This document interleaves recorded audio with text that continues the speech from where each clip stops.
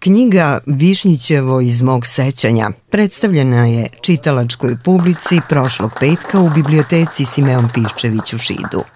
Pored autora Petra Vejnovića, o knjizi, svojevrsne monografiji o Višnjićevu i meštanima ovog sela, govorili su i Jovana Bakajlić, urednica ovog izdanja, Đorđe Slavinjak, recenzent i Tihomir Nestorović, novinar i književnik iz Bijeljine, kao i Svetislav Nenadović.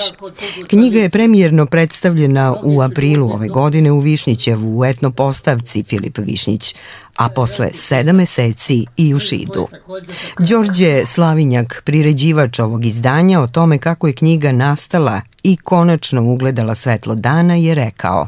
Nije bilo mene za početak i mlade koleginice Jovane za kraj, ova knjiga ne ugledala svetlo dana. Ova knjiga svedoči o velikom umeću našeg prijatelja Pere Vejnovića, on je zaista vrstan književnik i kroz ovu knjigu zajedno sa svojim prijateljima književnicama predočio nam je jedno neko vreme, neka lepa vremena, kako mi kažemo, naše mladosti, naše pro, prošlosti i svakako ova knjiga zaslužuje da se pročita. Može se čitati redom, može se čitati na preskog, ali će biti sigurno pravo zadovoljstvo ljubiteljima pisane reči.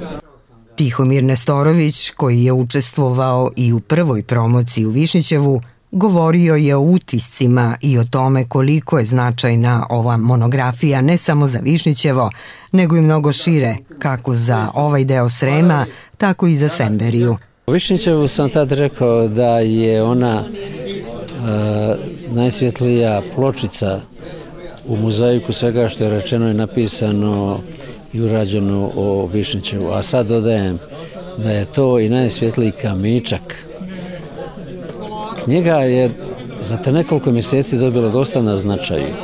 Dakle, čita se, pamti se, a to je sudbina monografija. I ono što me iznenadilo i obradovalo, da niko, niko nije našao primjedaba. Jer obično, kad se pišu monografije, uvijek se nađu neki koji zamire, nije to tako, ovako je, svako ima svoje viđenje, Ja to dobro znam, pošto ja to pišem, ali svako je Perinu knjigu prihvati. To je knjiga za čitavanje.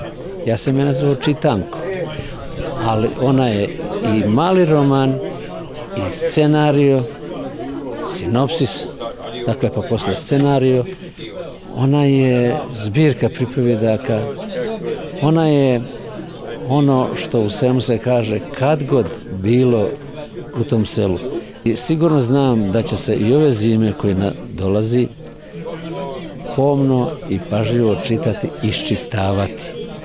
I tamo što je ona prešla Atare Višnčeva, proširila se po Sremu i tamo će ljudi koji budu čitali zastati malo u iščitavanju i sjetiti se svojih zavičaja, svojih sela, svojih mjesta, a ono što je s mogu reći ovo učbenik, doći će mladi, iza nas idu mladi, a to je za starije novinare veoma značajno da su izabrali pravi poziv i da iza njega idu mlađi, sposobniji, od, odlučniji, vrijedniji, da će se naći neko koji će nastaviti ovo djelo. Ovo se mora nastaviti. Petar Vejnović, novinar u penziji, dobitnik ovogodišnje Višnićeve nagrade za životno delo i autor, ne krijući zadovoljstvo, na kraju promocije izneo je i svoje utiske. Ovde su mi zaista divni utisci. Večerašnje promocije su pristali upravo svi oni koji su mi na neki način i pomogli i koji su bili uz mene u vreme dok je ova knjiga nastajala, dakle iz mog Višnićeva i mog Šida, Evo ovde danas u ovom zdanju, kulturnom zdanju u našoj biblioteci i tako da sam ispunjen emocijama i zadovoljan sa nastupom, odnosno sa, da kažemo, uslovno kritikama mojih kolega, ti tiževnih stvaralaca zaista. Među njima su dvojica Bardova, Svetislav Nenadović i Tihovir Nestorović, Đorđe moj Slavinjak, čovjek koji je koji na neki način onako rečeno pogurao izdanje te knjige. Jednom reči nosim prelepe utiske sa ove svečanosti, za mene je to svečanost, a verujem da na neki način zadovoljstvo dele i svi oni koji su bili večeras ovde, jer na neki način su već došli posred knjige, neki će je ponovo, neki će po prvi put dobiti jednom reču.